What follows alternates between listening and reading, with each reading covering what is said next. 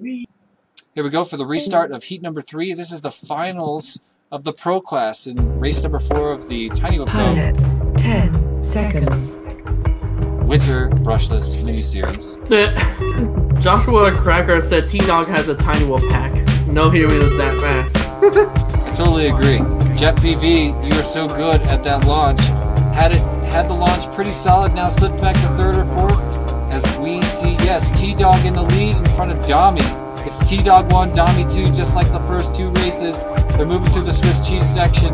Rich and Jace is chasing hard to catch up third and fourth, and we've got Jeff PV in fifth place, also pushing hard. T Dog all the way into the bow tie section. Uh, still getting chased by Dami and Rich in second and third place. So we will watch T Dog now crosses over through the barrel. First lap is a 36.2. That's got to be the fastest lap we've seen so far today. Rich with an incredible 37. Jasus and Jeff with 38s, and Dami pulling in a 38 too. Slipped all the way back to fifth place before he crossed over onto his second lap. T Dog now crossing over onto his second half of his second lap, chased down by Rich, who is not far behind at all. They've been sharing course sections for a long time. We do have a battle for third between Jeff, Jasus, and Dami right now.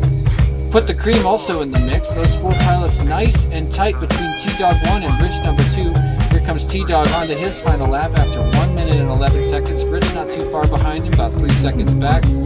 Dami ahead of Jeff PV by 1 second coming into their final lap. And I missed that lane change, but an epic pass for sure. Now T Dog moves on to the second half of his final lap here in heat number 3.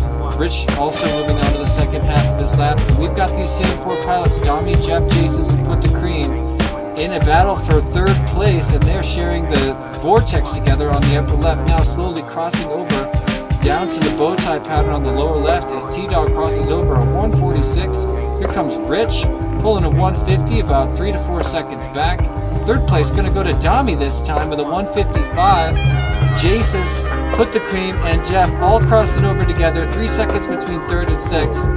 That was an epic race. Here comes Bry 5. And we're going to round it out with Sheep Wings. That was an epic race. Maybe my favorite one so far.